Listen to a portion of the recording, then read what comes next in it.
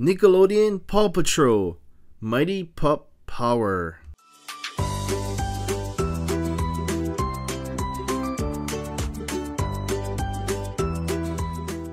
It was a big day at Adventure Bay Beach because Mayor Humdinger was preparing to blast off in his rocket ship.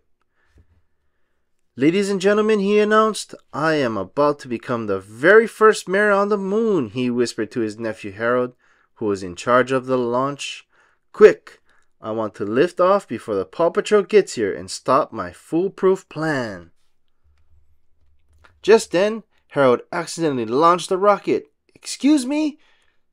To be the first mayor to the moon, shouldn't I be in that rocket? said Mayor Humdinger. But the rocket wasn't going to the moon. It was headed right for a meteor. The rocket bumped into the meteor and sent it straight down to Earth. Meanwhile, Everest and Jake were stargazing. They saw the meteor coming toward Adventure Bay. Better call Ryder, said Jake. Ryder, come in, said Everest. There's a meteor headed this way. Uh oh, we have to get everyone to safety, said Ryder.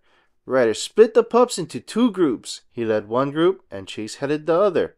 Chase hoped he would be a good leader.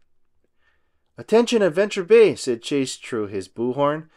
A meteor is headed towards us. The Paw Patrol cleared the streets just before the meteor crashed.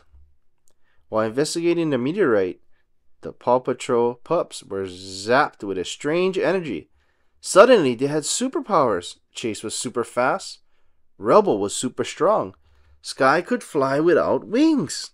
Everest could breathe ice. And Marshall could create amazing heat.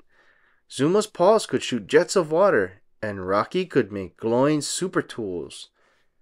Wow, I'm gonna call you Mighty Pups, said Ryder. But it wasn't just the pups who had powers. Harold could make anything he wanted just by moving his hands. He made himself some rocket shoes and zoomed to Mayor Humdinger's lair.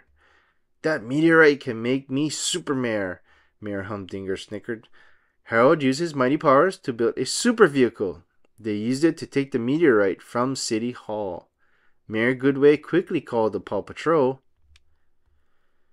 The Mighty Pups got super pup outfits and then they caught up with Mayor Humdinger and Harold. The mayor panicked and escaped the vehicle through a trap door, but Harold continued on his mischievous mission.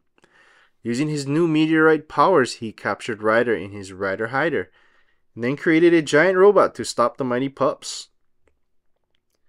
Chase had to take the lead. Zuma, making Mini Lake in front of him, and Everest, some ice would be nice. The robot slid on the icy lake and totally wiped out. But then the robot got back up. A little fall won't stop my pup rounder upper, said Harold. Super rocket thrusters coming up. The robot became rocket powered. Using its rockets, the robot quickly caught all the mighty pups except Chase. What would Ryder do? Chase asked himself. Ryder says a good leader never gives up, so neither will I. Mighty pups, I have a plan, said Chase. Mighty Marshall, it's time to go hot dog on these nets. Super idea, team leader Chase, said Marshall as his paws began to glow red hot. He melted the nets, freeing the pups.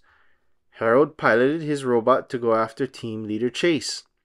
I've got you this time, said Harold, but his helmet fell down over his eyes. Oops! The robot lurched into the lookout and wrapped his arms and legs around it. Its rockets fired, and the lookout took off, with Ryder trapped inside. We've got to catch that rocket ship, or we may never see Ryder again, yelped Chase. He quickly formed a plan. Mighty Rocky created an energy tool belt that all the pups could fit inside, and Mighty Skye flew them to the lookout. Inside the lookout, Ryder knew the Mighty Pups had, had to get the meteorite to stop the runaway robot, and he knew just how to help them. The pup saw something shiny on the robot's backpack. It's the Paw Patrol signal, said Mighty Skye. Chase knew what it meant. It's Ryder, he exclaimed. He, he's showing us that the meteorite is in his robot's backpack. Let's get that meteorite, said Chase. Rubble, can you reach it? It might be a stretch, Rubble said, but I'll give it a double Rubble effort. The powerful pup swung up to the backpack and opened it with his claw arm. Then Mighty Rocky used his super vac to suck up the meteorite. Got it, said Mighty Rocky. Without the meteorite, the robot suddenly lost power, and the lookout began to fall. Chase needed a powerful windward whirlwind to slow it down.